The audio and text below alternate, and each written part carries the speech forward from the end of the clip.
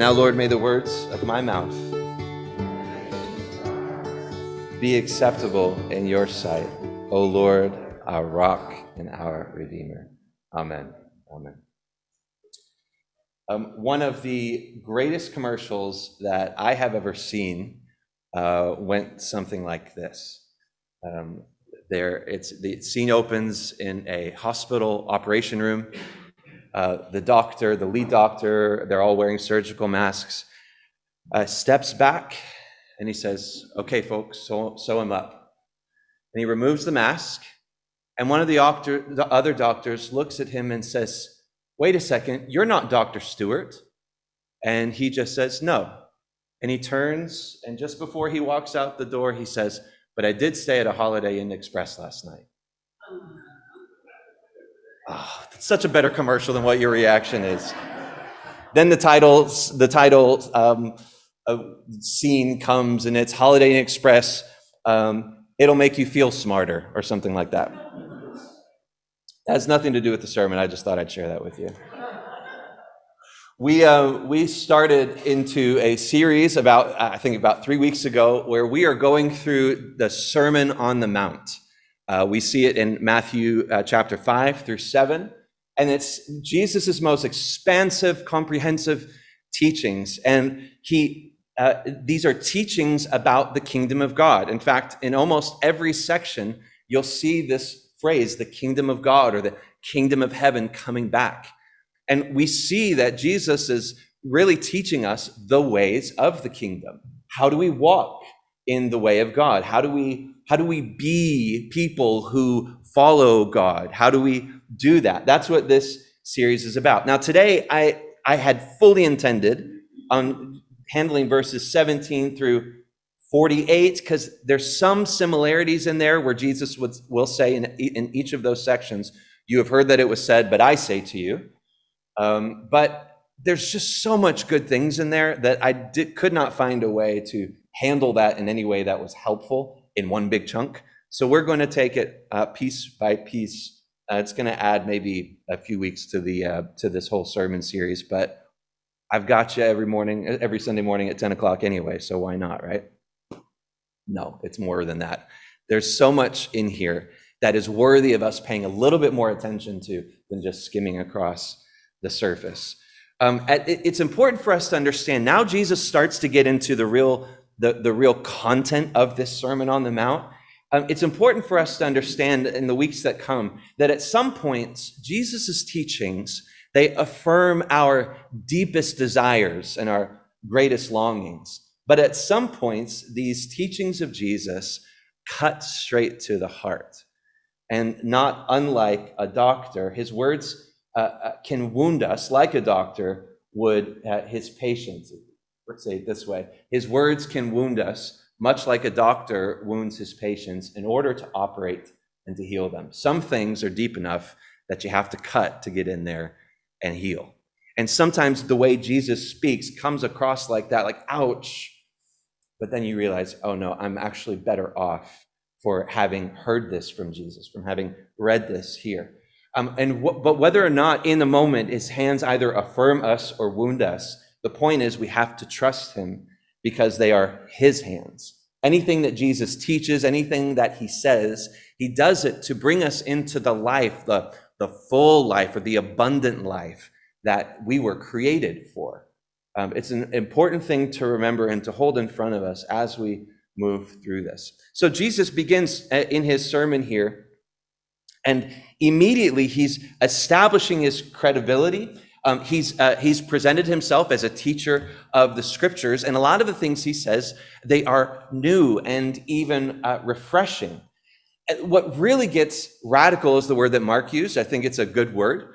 Uh, what really gets radical is that some of the things that Jesus said, maybe the majority of things that Jesus said, seem to contradict the religious professionals of his day. Yes, those religious professionals, my colleagues.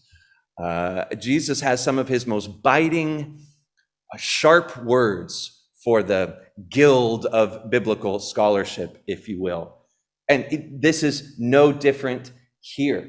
In fact, in many times, Jesus was speaking with such like an authority, such like, I know that this is true and it goes against some of what you're saying, um, that these religious professionals would question Jesus on what authority does he speak.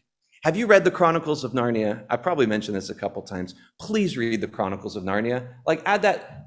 You all have a summer reading list, and the Chronicles of Narnia is right there. They're written for children, but man, they're good.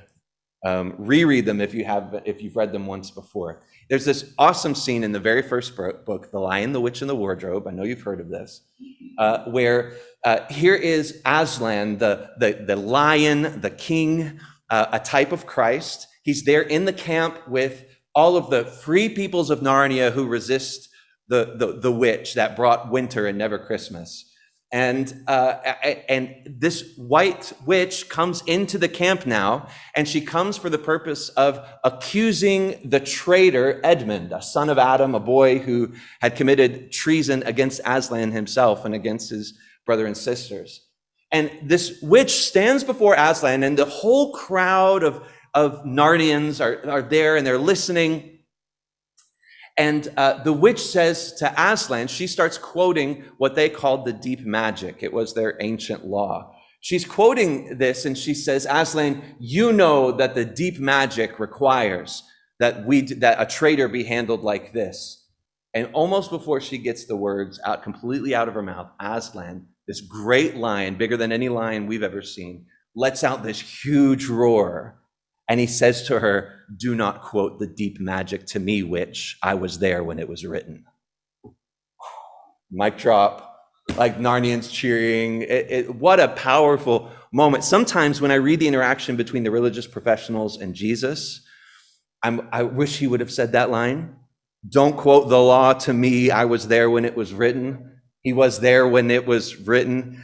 He doesn't say those exact words, but he does uh, answer, um, uh, uh, he does answer back in a lot of these ways. He didn't come to bring a, a, a new teaching or a reinterpretation of the old. That was the question. He's saying, no, I actually came to bring you back to the heart of what it was all about from the first place.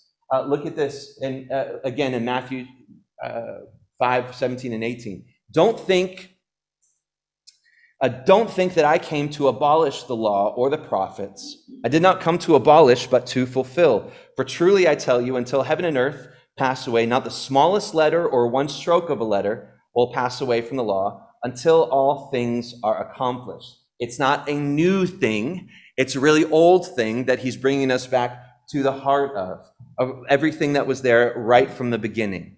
Jesus is continuing what God started way back with Adam and then to Noah, and then to Abraham, and then to Moses, and then on to David. And finally, Jesus is saying, This is the final stage of this thing that has been happening since the very beginning, since the Garden of Eden. I haven't come to lead you on a different path, I've come to lead you further up the path that the Father laid out for, for humanity right from the beginning. Uh, the religious professionals, though, they were not a fan of this teaching, and you'll see why. They had added many teachings to the scriptures in order to help explain them, in order to uh, uh, uh, uh um, protect people from doing the wrong things, if we're being generous uh, in assuming their in, in, intentions. But they had drifted away not so much from the letter of the law, but from the spirit of the law, the why behind it the, the, the thing, that the heartbeat of the Father in, when he gave uh, commands.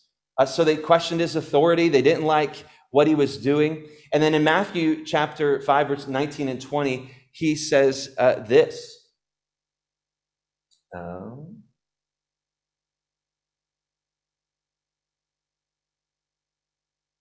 no attention. There we go. He says uh, in verse 19, Therefore, whoever breaks one of the least of these commandments and teaches others to do the same will be called least in the kingdom of heaven. But whoever does and teaches these commands will be called great in the kingdom of heaven. For I tell you, unless your righteousness surpasses that of the scribes and the Pharisees, the religious professionals, you will never get into the kingdom of heaven. That's equivalent to I was there when it was written. It's sharp. Your righteousness has to be better than those guys right there. Uh, he, it, this was at once a critique of the religious professionals and a high call for everyone else. Jesus is saying, and everybody there understood it, these guys are missing the point these scribes and Pharisees, these religious professionals. They're getting it, they, or they're missing it. They, they aren't getting it. They have seen the letter of the law, but they have completely abandoned the heart behind it, and they've just added on top of more and more things. Um, and, and I can just imagine, just imagine Jesus' disciples sitting there, and Jesus saying that your righteousness has to be better than these guys, and the disciples going, "Did he just say that?" Did, did, he, did he say that out loud? I mean, we are all thinking it, we are all kind of hoping it, but he finally said it. it. You know, they want us to be, they call themselves our shepherds and we're their sheep, but they just keep adding a burden on top of a burden on top of a burden. Uh, thank God that Jesus just said what we all were hoping was true. But then Jesus did say something else. He said, unless your righteousness is better than their righteousness, you'll never enter into the kingdom of heaven. Righteousness. and not just a righteousness that's like theirs, a, a truer righteousness, a better righteousness. Righteous, uh, righteous and righteousness is one of those world words that's so big, um, uh, so uh, uh, I don't know, maybe vague even. It's almost like it comes from another world and that that world is a place we can't get to. Um, righteous, though, uh, I just invite you to think of righteousness like this it's simply living your life according to the heart and way, ways and will of God. Righteousness, living according not only to the ways of God, the laws of God, but according to the heart, the ways, and the will of God. Uh, it's conformity to God's sovereign plan. A righteous act would be an act that is in line with the heart, ways, and will of God. A righteous person is one whose life completely and absolutely conforms to the heart, ways, and will of God. It's, I mentioned David to you earlier. Um, he was the, the, the second king of Israel, the first great king of Israel. Um, and this, in David's days, it was like the preamble to the glory days of the kingdom of Israel. But David was a poet and a singer. And he, in thinking about righteousness and talking about righteousness, he says it like this Who may ascend the mountain of the Lord? This is Psalm 24. Uh, who may ascend the mountain of the Lord? Who may stand in his holy place? The one who has clean hands and a pure heart, who has not appealed to what is false and who has not sworn deceitfully. He will receive blessing from the Lord and righteousness from the God of his salvation. Such is the generation of those who inquire of him, who seek the face of the God of Jacob. So, who can come into the presence of God? Who, how do you get into this kingdom, in other words? Uh, who may ascend the hill of the Lord and stand before him? Clean hands and pure heart. Notice those two things together clean hands and a pure heart. It's not just clean hands, the outward acts of righteousness. And it's also not just a pure heart, uh, righteous intentions. It is the two together clean hands and a pure heart. And the problem in Jesus' day was that the religious professionals put so much emphasis on one at the expense of the other. So much emphasis on the clean hands and so little or no emphasis on the clean, the pure heart.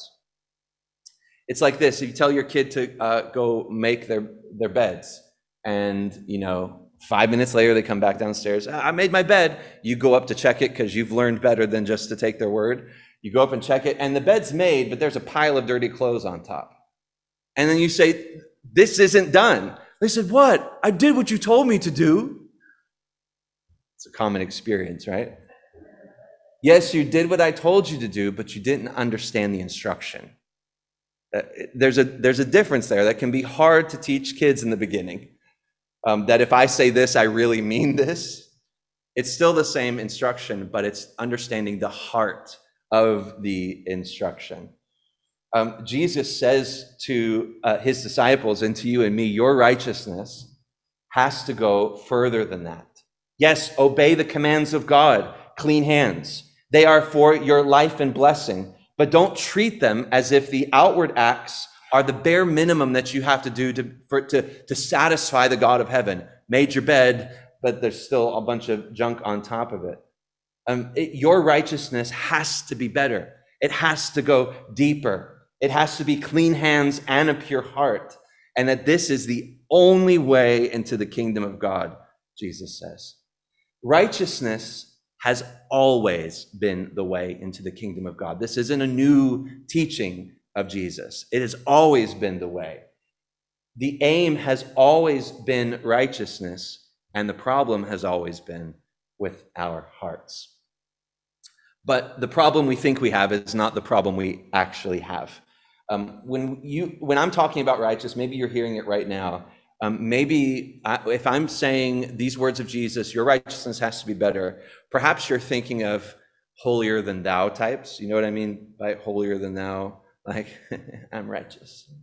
You're not. You should be like me. Not that very many people go around saying that, but you know the attitude.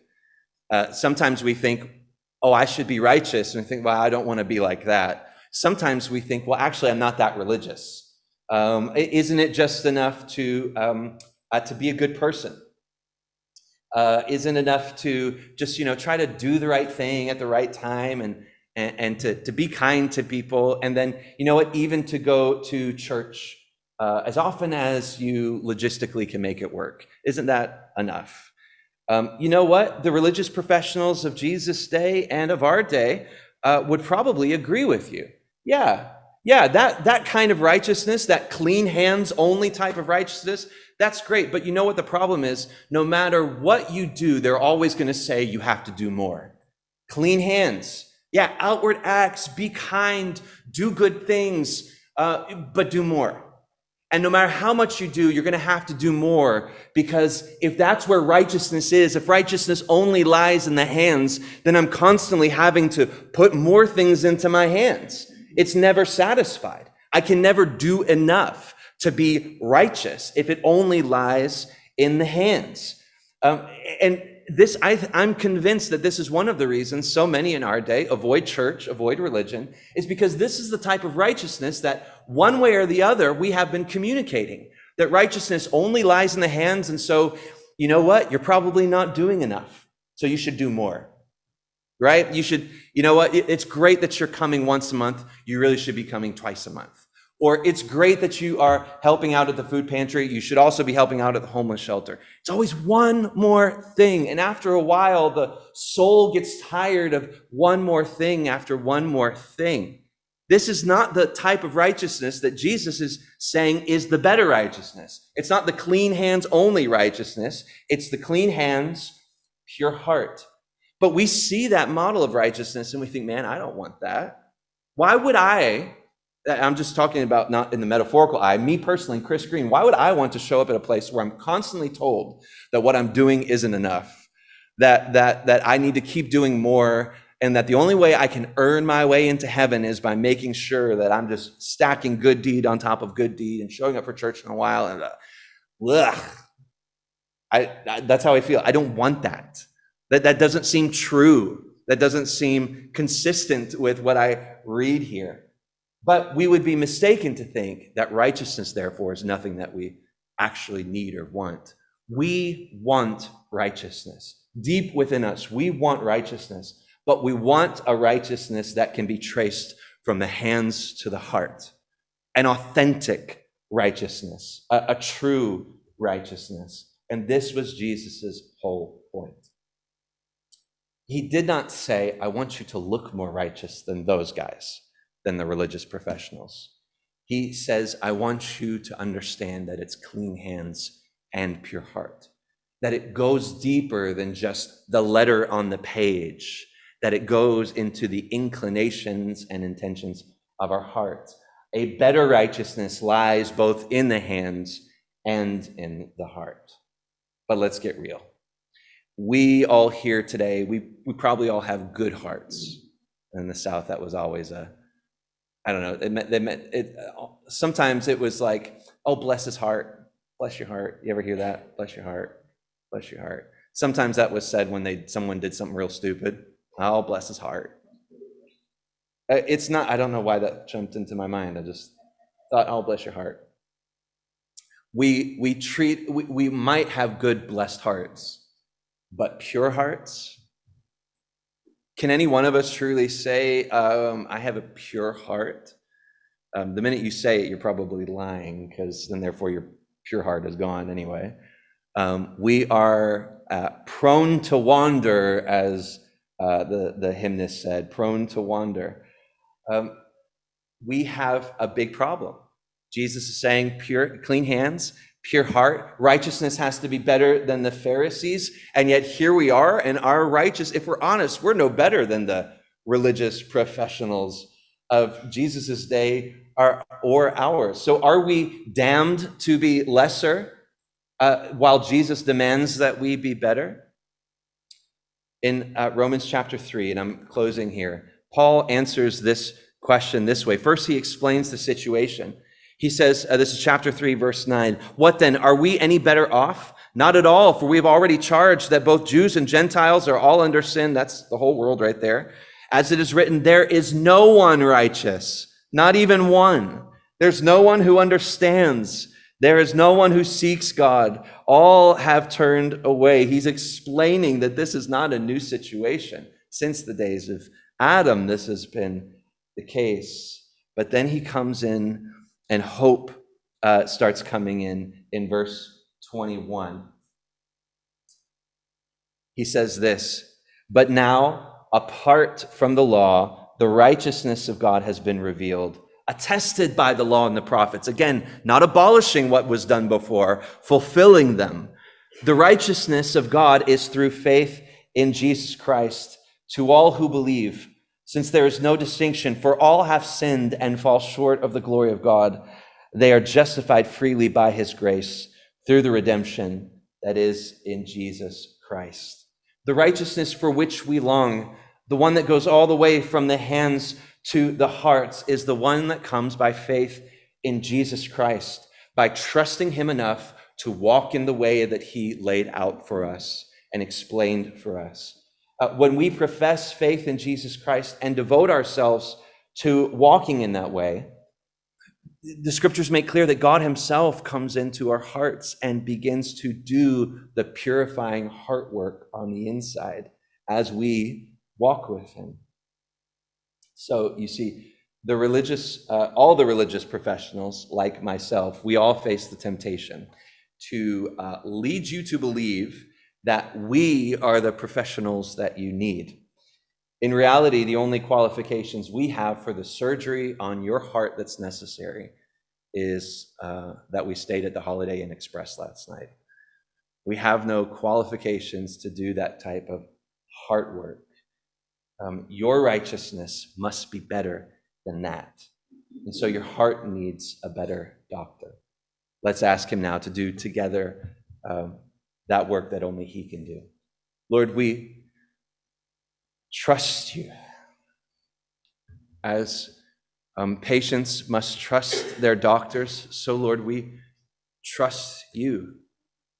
We ask you, Lord, to leave us unsatisfied with any kind of righteousness that only goes skin deep, but to teach us a righteousness that lies both in the hands and in the heart, to follow your commands all the way through to your desire.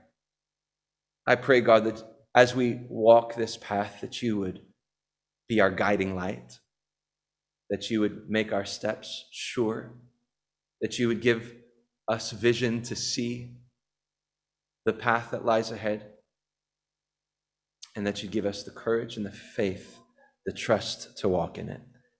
In Jesus' name, amen.